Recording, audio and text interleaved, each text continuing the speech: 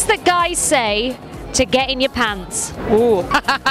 You are the perfect woman. you are very beautiful. They say you have a really pretty face. I like ha- the way you dance. You have beautiful eyes. You're really tall, aren't you? I bet you're shorter with your heels off. We should go home and you can take them off. You look fit. Your bum looks good. Your dress is nice.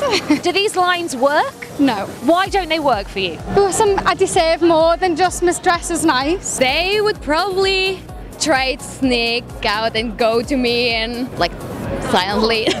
Do you want to play scissors, paper? Rock, paper, scissors? yeah, that's it.